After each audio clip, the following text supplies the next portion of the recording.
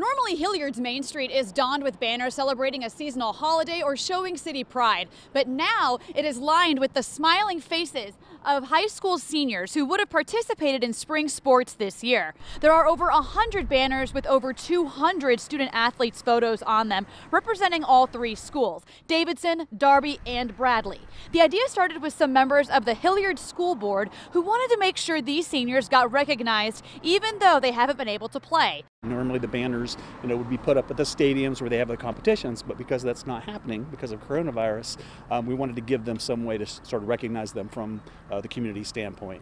Most of the banners got put up today, but more will go up over the next couple days as well. You can see them up and down Main Street in downtown Hilliard. The plan is to continue them down Norwich Street as well. Local for you in Hilliard, Whitney Harding, NBC4.